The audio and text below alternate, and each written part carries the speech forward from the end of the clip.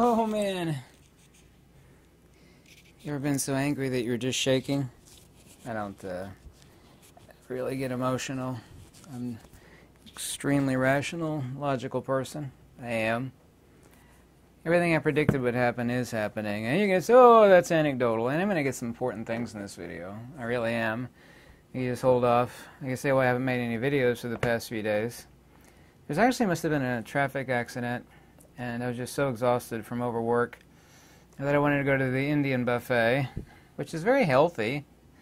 Just uh, chicken, and it's very cheap. And uh, there was a, apparently a very bad traffic jam. So I couldn't make my way to the Indian buffet because the road was blocked off. I had to go over to Costco. Yeah, I know how evil Costco is. And uh, I don't even think I've ever eaten it twice in my entire life. And yesterday was that second time. It was a short rib package and it was underneath the hot lamp. Yeah, I know. That was my mistake completely on that end. Well, I bought that and a couple cases of water. I came home and I ate that. Way too salty. I can't stand that. And I got so sick I really, really wanted to go to the emergency room. It was bad food poisoning. But since I have no medical insurance, I probably would have ended up with a $10,000 bill that I couldn't afford. So I didn't go to the emergency room. What would they have done anyway, right? And it was just incredibly sick um, yesterday. I was planning on making a video yesterday. I almost didn't even make this video today. Every three months or so, I make a video like this, three or four months, you know, like don't watch this video. It's not reverse psychology, actually. I'm not trying to ever pull that kind of trick on anybody. I'm not. Um, so I had really, really bad food poisoning, and I thought, well, I'll make a second attempt. You can't make this kind of garbage up. A second attempt at saving some time today because I'm so busy and go to the Indian buffet again. Like, well, I bet there won't be a traffic jam today which you know there's not in this town really. That had to have been an accident. So I couldn't go because when I got outside, I noticed my passenger side door was ajar, and I posted a picture of it. This, uh, it happened like four or five months ago. Someone went in there and they threw everything around. They stole anything of value. Last time, I mean, you know, I learned my lesson. I didn't really have anything in there. They still got over $200 worth of stuff this time. So they robbed me. I found out from my my uh, loser neighbor, and he they are total losers. Um, that he was robbed last night too of his vehicle. They opened up the door. Um, there's a little device. I don't want to name the device, but it actually scans through the frequencies. It has nothing to do with your key fob. Okay, people keep saying that to me, and that's not it. Um, it scans through all the frequencies, and it'll pop uh, your door open um, so that's how they get in without, uh, you know, busting a window or, or anything. And that happened um, last night. I mean, today. Well, I, I, think it happened last night. It could have happened this morning because I was so sick that I got up late because I was up till like 6 a.m. You know, just really, really bad uh, food poisoning. Uh, it's just absolutely horrible. So this is the second time I couldn't make my way to the restaurant.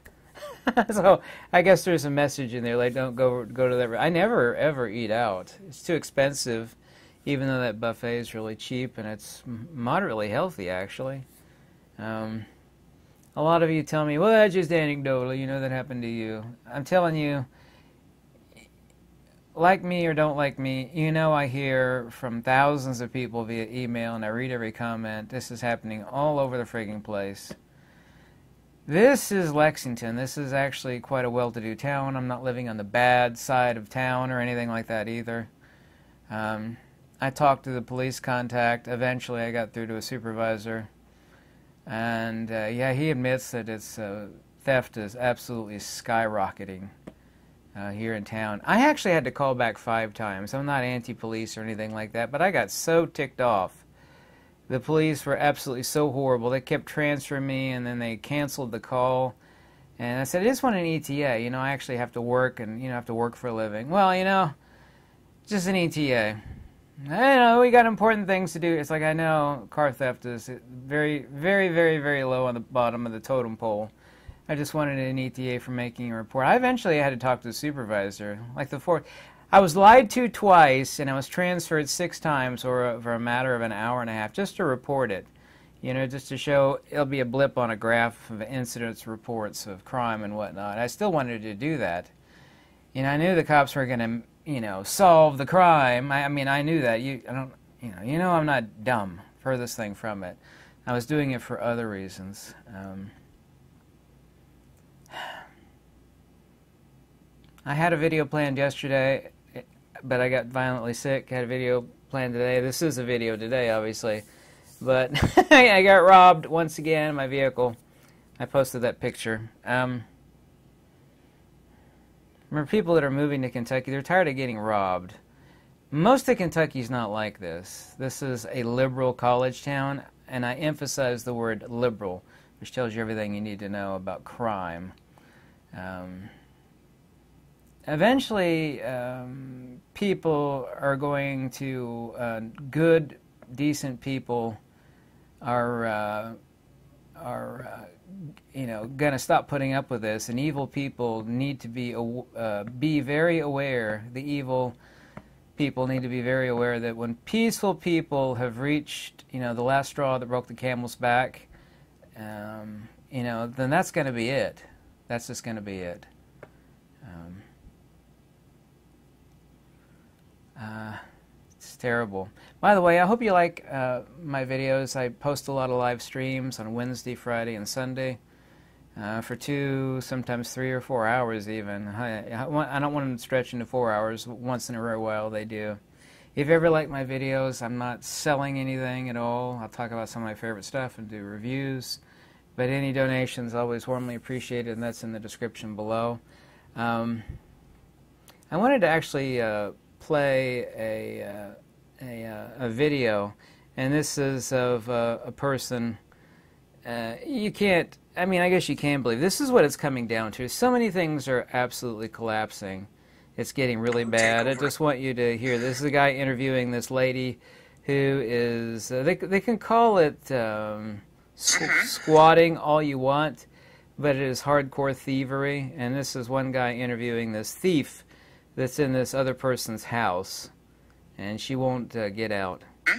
Say for a month. And a half. And a half. Mm-hmm. Okay, so she's been there a month and a half. You think you would be entitled to move in there? Well, take um, stuff. Well, it's a lot of. Um, I'm not the only one that is squatting. It's a lot of other people on the block. If you want to be technical, mm-hmm. you know, and a lot of people encouraged me to do what I'm doing now. But she wants her place back. Yeah, but I have put a lot of work in here and I spent a lot of money. I am on a fixed income. Is that power hooked up legit there? Um, my power is. That's not legit. It's not legit. No, you you you stealing the power. I am. She's stealing power. She's stealing the person's house. She won't get out. I, I don't know what you know or think one way or another, but you try that here in Kentucky and a few other places. I, I won't I'll give you less than one guess what would happen. I mean, the fact that that stuff's spreading, Florida actually cut it off, and there's one other state that just passed a law to stop that stuff. Um, you know, but this this stuff this stuff is escalating. I mean, it just it flat out is escalating. You say, well, whatever degree, that's anecdotal once again. It's not anecdotal. Just that one is anecdotal. Statistically, it's one, which doesn't really account for anything. That's like talking about, well, your vehicle got robbed. That's no big deal. That's anecdotal. Well, it is, but I can tell you that I ask a lot of people that are in the know, including I do have contacts in the police department. Yes, I do. And I talk to a lot of people. It's absolutely off the Richter scale. And if that is the case in Lexington, and this is unfortunately a liberal college town, but I mean, this is no economically depressed city. Not by any means is it. It's, it's just going on. There's uh, some senator that I have like less than zero respect for. He's like a horrible person, the horriblest of horrible people. Out in California, you know, his vehicle was just broken into and they stole all his luggage. um, I have a few people that I know that are moving here to Kentucky uh, to get away from it, but they're not coming to Lexington or Louisville, you know. Lexington is nothing like the rest of the state. You try that in the rural parts of Kentucky, you got a serious problem. I mean, you got a really serious problem. Um, the truth that uh, a lot of these protests that are going on in the colleges um, around uh, this country, uh, these are not grassroots, and more than half at least of these people don't even go to those colleges. But there's a lot of indicators, and they've been sussed out where the money's coming from to pay for these agitators. They're not grassroots at all. It's uh, you're seeing the exact same tents all over the country, where these uh, Goonie birds, and what they are, they're low information uh, people. LIPs, low information.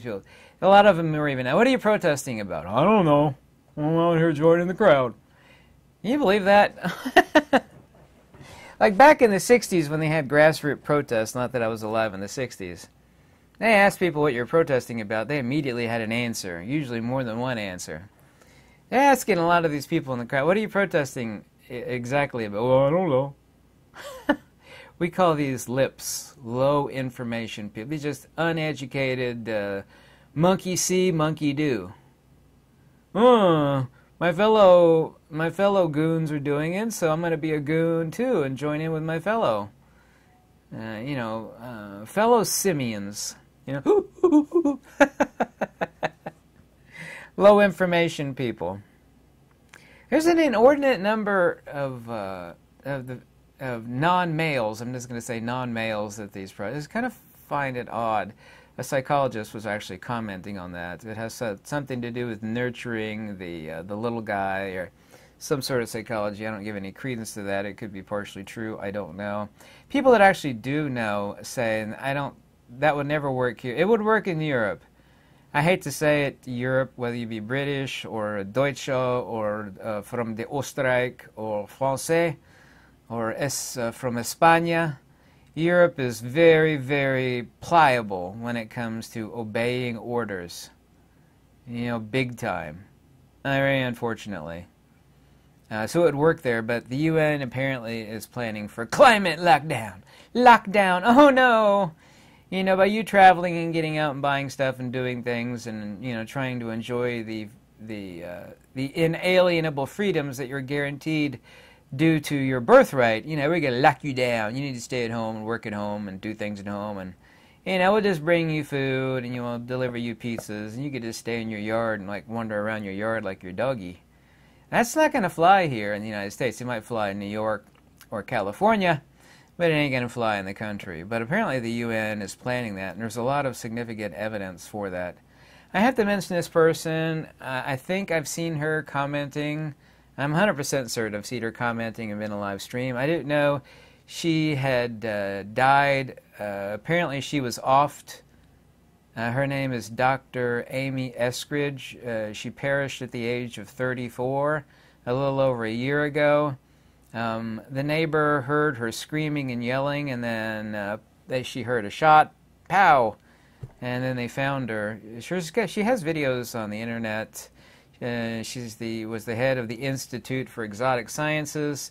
Her dad, who I don't want to name, but I've seen videos of her dad. He's a a legitimate science and field propulsion technology, and she talked about anti gravity a lot. And someone sent me a video. It's over three hours long, and in the video, uh, she's really excited when she mentioned the other guy mentions my name, and she goes, "Oh, Ken Wheeler, Ken Wheeler, yeah, yeah, he's figured it out." And uh, I kid you not uh, she mentions, oh yeah, Ken Wheeler, this, you know, I, I'm not trying to repeat her praises, but you know, I never saw her face. I never met her, but I remember her being in live stream.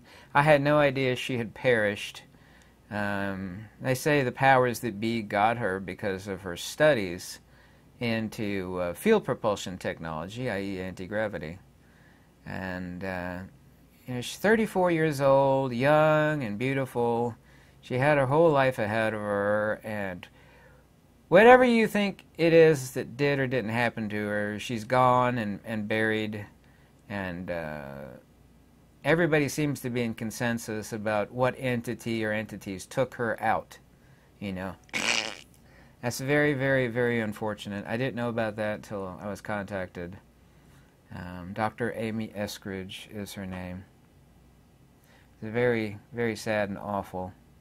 Um, here's something that came out of Reuters, and this is really huge, and I don't hear any of the lamestream media talking about this, is that regulators are told to uh, prepare to handle failed clearinghouses. Now you go look up clearinghouses when you know about it. Regulators must equip themselves, as they are told, with tools such as bail-in bonds to deal very quickly so that there isn't a domino effect with failed clearinghouses for stocks, bonds, and derivatives. In other words, the summation of this is that the, the big house of cards is about to tumble without having to call on taxpayers for cash to back this up. G20's uh, risk watchdogs said on Thursday. And this is really huge news, and other than Reuters and a few other outlets reporting it, there's nobody talking about this, and it's absolutely off the Richter scale of importance. In this unfortunate age of uh, low information people, or lips as I like to call them, um, people have sublimated and, you know, prostrated themselves, kind of like some sort of uh, religious, uh, religious person to a gold statue regarding governments experts and authorities. And uh, there's no such thing as an authority in a formal debate, but please let me beg to you that all these people that keep calling themselves experts are not. Have you typed in the term anatta or anatman? And this is just one example of many. I mean, I'm the number one person in the world that's the absolute expert on that topic. There's nobody, not my opinion, there's nobody on this earth that knows more about that topic than me. I can debate that topic till the dogs come home and yet, if you type in that term on uh, on Google or Wikipedia, you'll say, "Well, yeah, but it means there is no soul. He knows all, and it's just what he taught." It's like, well, that's doctrinally 100% unsupported. It's logically impossible. It is fantastically uh, uh, ignorant to the highest order. And it's common via negativa. Anyway, I don't want to give you a diatribe about that. I've written many articles about it. But these, the experts that write these things, you know, the assumed experts. They're not. The same is true of field theory and all these priests of quantum, these uh, cult of bumping particle. Fundamentally, what they are are atomists.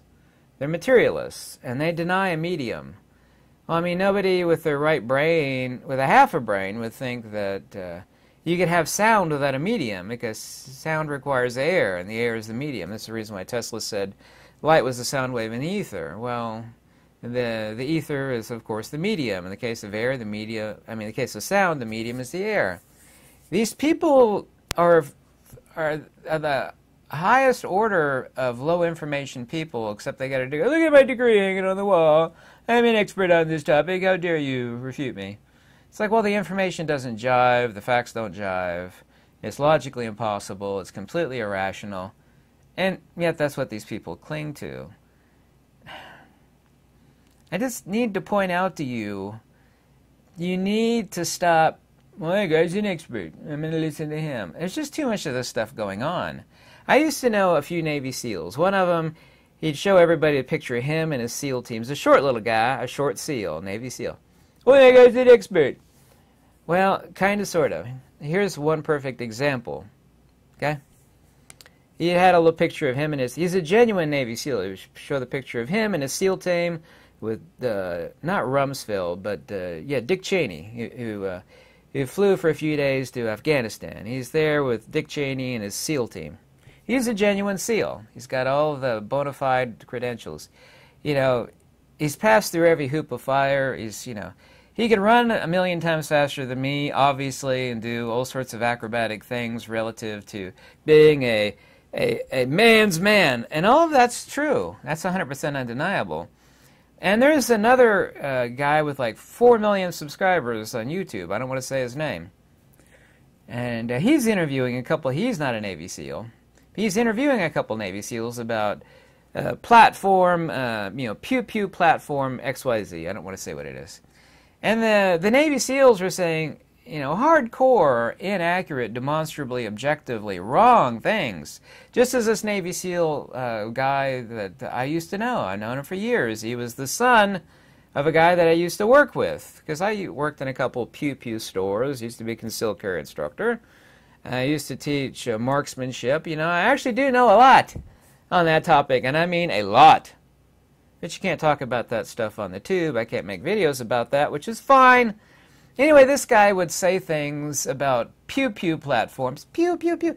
It was just 100%, not my opinion or feeling belief, but 100% demonstrably incorrect. But an unintelligent, low information person would say, and I know why they say it because they're incredibly ignorant. Well, how could you say that? The guy's a Navy SEAL. Well, yeah, he is a Navy SEAL, but it doesn't mean he knows everything. It's like a professional race car driver. You know, they, they won lots of races, they Daytona 500, you know. Oh my God, killer skills for driving. You ask that same expert race car driver about the vehicle he's driving, he doesn't really know a whole lot. He doesn't. Well, he's an expert race car driver. Of course he knows about the race car. A little bit, more than the average person, but he's a driver. we call that compartmentalization of information. Just as these Navy SEAL people, when they comment on pew pew platforms, and they'll quite often say something really, really, really, really stupid and just flat out wrong. Well, how could you say that? That guy's a Navy SEAL. I got a I got a SEAL patch right here, by the way. It says SEAL Team 10. Pew, right there. SEAL Team 10. Nice, huh? Just because they're a SEAL doesn't mean they know everything about pew pews. And a lot of you are doing the same thing. I remember when I was younger during Iraq's invasion of uh, Kuwait, Carl Sagan, you know, he's so smart. He was on CNN. He made this crazy statement when all the oil fires, oil wells were lit up ablaze. You know, the, the smoke would spread across the earth and like 10% of the sun might be blocked out. And it was just, was just crazy, crazy, crazy, crazy. Even though there was like a gazillion gas wells lit ablaze and there was tons and tons of smoke, which is visible via satellite imagery, the notion of it even dimming out one one thousandth of one percent of the sun's light across the, it is just crazy. Oh, how could you doubt that? That Carl Sagan, he's so smart. My point being is stop investing and bowing down to these experts because they're not, and they're not authorities on anything. There's no such thing as an authority. Anyway, this has been a very, very difficult day for me. I nearly died yesterday, or at least it felt like I was going to die. And today I got robbed. You know, the last thing a poor person needs is to get robbed. Nevertheless, I hope you like these videos, and I'm sorry uh, if uh, this video dragged in any way, shape, or form. I'll catch you on live stream. Thanks so much for watching, and if you ever like my videos, the 8,000 plus of which that I have, any donation via the description link below is extremely welcome, even if it's only a buck. Or even if you want to send me an email, give flipping me the middle bird, that's okay too. You know, because I am not one to inhibit your free will. Thanks for watching. God, what an awful day this has been. oh, horrible. Oh well.